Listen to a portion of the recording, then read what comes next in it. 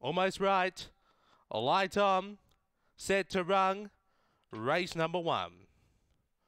Away, French for Bragg began on term. Speed off the inside from Champagne Dame. Also speed from Billman's Bounce and out wide, no rule value. French for Bragg found the front, clear by two. Over Billman's Bounce, winding home with no rule value. But French for Bread, too good. Second was either Billman's Bounce or no rule value. And back of a tail, last of a quartet, Champagne Dame. 1696. 1696 after race number one, number two, French for Bread. Your winner for uh, Manuel Stupas. Big Zone V4. Billman's Bounce. Neil Mann. Third number six, No Rule Value. Robert Barclay.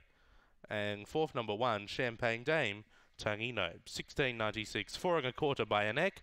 Four and a quarter by a neck. 2461 are uh, the numbers in the frame.